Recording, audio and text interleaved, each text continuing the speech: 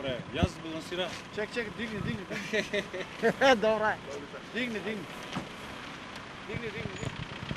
Ајде, ајде, ајде.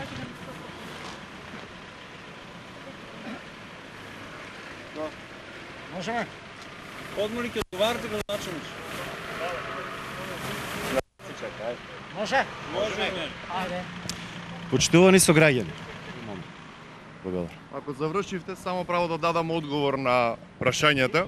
Вие како градоначалник ставате ред при вакцинирањето.